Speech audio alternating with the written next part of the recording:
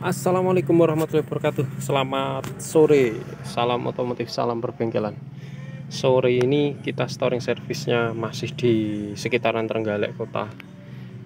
Dapat kendaraan Isuzu Panther LS tahun 2000 Detail kendalanya dia ada kebocoran dari master rem atas Dan juga indikator aki indikator oli sama indikator rem parkir dan juga uh, water sentimeternya nggak nyala.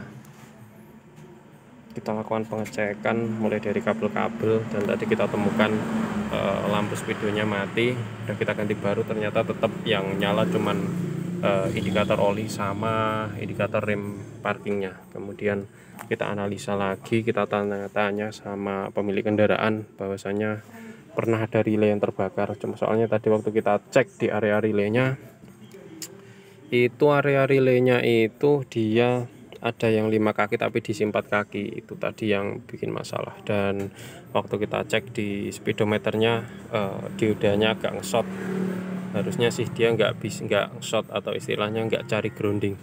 Dan tadi analisa kita benar dari sekitaran box relay kita cek ternyata relay yang lima kaki itu dipasang relay empat kaki. Ini jadi relay HVAC nya itu terbakar. Dan tadi ini tadi dikasih relay jenis ini ini untuk relay starter. Ya empat, eh, empat kaki ini lima kaki dan juga lima kaki. Karena untuk bios bios semuanya aman. Dan akhirnya yang ini tadi relay lima kaki diganti empat kaki itu penyebabnya. Jadi indikator water centimeter sama indikator pengisiannya itu enggak nyala. Namun pengisian normal tidak ada kendala mobil bisa hidup dipakai jalan bisa hanya saja indikator dua itu dia tetap nggak nyala. Dan setelah kita cek ulang lagi ininya bekas kebakar namun masih bisa digunakan untuk relay-relaynya. Nanti ini kita bikinkan relay di luar. Kita cek lagi nanti karena rumahnya udah agak kebakar. Semoga nanti aman tidak ada kendala lagi untuk relay ini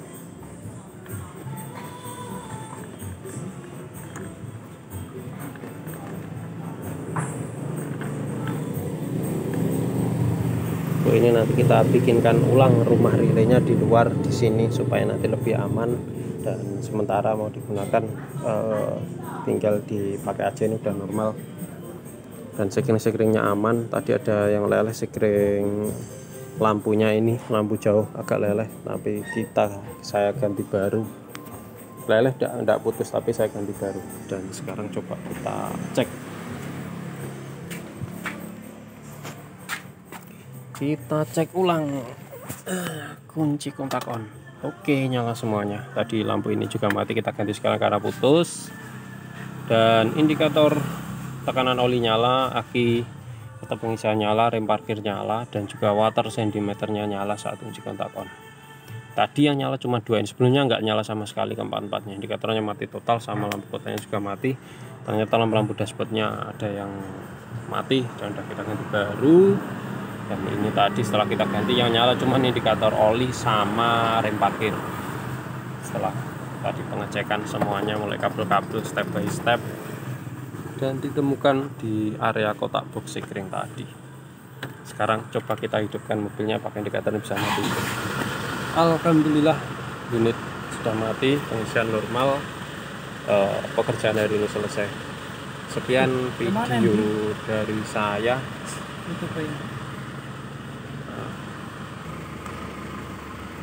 untuk tutup audionya udah ketemu. Tadi sempat lepas. Kilometer kendaraan 342129 unit masih sangat bagus. Kilometernya udah besar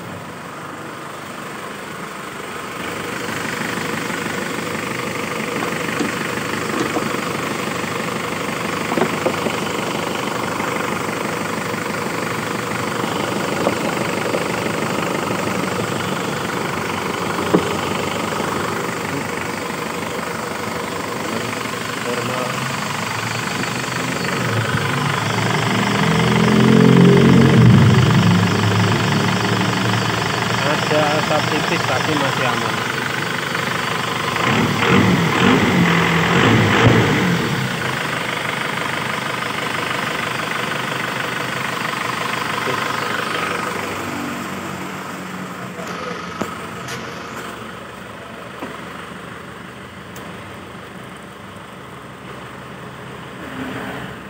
Sekian video sore ini storing service sore ini.